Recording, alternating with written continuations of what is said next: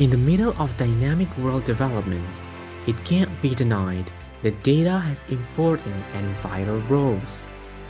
Various fields of life, such as economy, health, education, and others, need data as a basis for planning and policy making.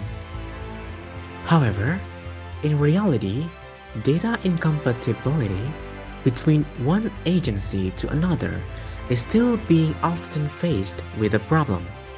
Therefore, validated data is needed. Official statistics produced, collated, and disseminated by National Statistical Office are almost nationally representative because they are obtained from complete censuses or large-scale national sample surveys.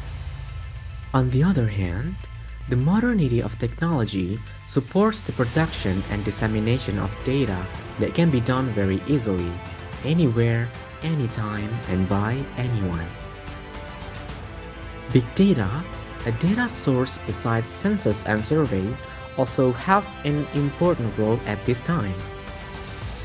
By combining survey data with available administrative data in big data, NSO can save the cost of data collection and processing and reduce the respondent's burden. The new idea of using multi-source statistics bring new problems. One of them is the complexity in multi-source statistics production, which is combined from various high variation sources. Although various research has been done continuously, there is no indication which method could be applied in a particular situation arising in practice. The increment of volume and variations in data types and sources increase computing power and improve data science methods to change society in fundamental ways.